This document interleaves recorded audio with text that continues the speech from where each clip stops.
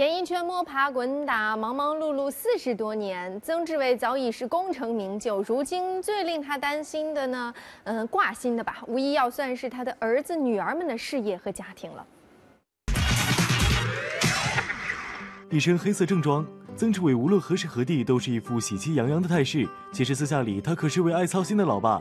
这不，就连出席个首席活动，满脑子都是阿宝未来的出嫁事宜。刚刚有第一批模特走过那个那个金牌啊，哇，那个才夸张啊！那个隔壁的人就告诉我说：“哎呀，宝结婚你要不要送这个？”我说：“我要，要，要，要，要。”曾志伟对于曾宝仪的疼爱有目共睹，无论是各大晚会主持还是广告代言，阿宝哪里有需要，哪里就有曾志伟的身影。就拿二零一二年第四十八届金马奖的主持来说吧，原本曾志伟是拒绝的，但就因为女儿想要创造父女之间的回忆，他立刻欣然接受邀约。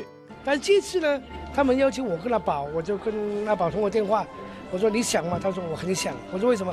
他说我想留一个我们妇女的纪念作，他能够补我很多的短处，所以。我跟他搭，反正我自己觉得更轻松。对于儿子曾国祥，曾志伟也一样操碎了心，处处扶持力挺。以前每一次看到曾志伟，他都跟我说：“你什么时候帮我儿子监制一部戏？”我今天终于完成我任务，满意吗？我今天是来看戏的啊！我是周冬雨的粉丝。不仅悉心培养热爱电影的曾国祥成长成才，还处处为他铺路，寻求出头的机会。